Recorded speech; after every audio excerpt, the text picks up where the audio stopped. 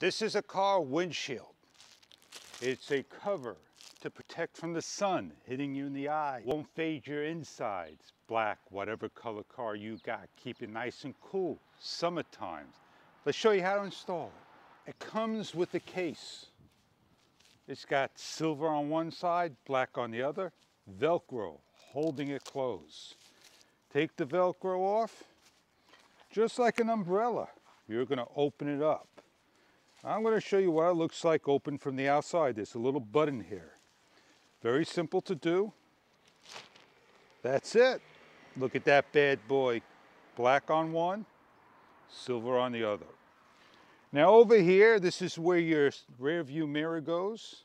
So let's close it up by pushing in, going inside the car. Pull! Just like that. Just like that. It opens up, one, two, three. Mine rests right on the uh, shifter. And there I am. I wrap this around so this way nothing will fall off.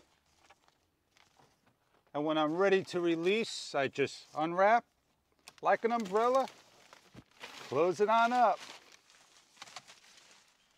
Against the window, pull the handle,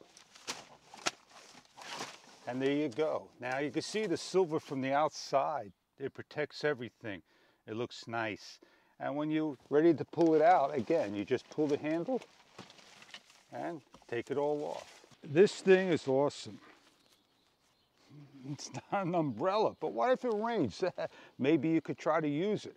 I hope this is something you're looking for for your SUV car. Check online the details if this will fit your vehicle. Check online for further details about the product if it fits your car. I hope this is something what you're looking for and I hope you enjoy your product if it's right for you.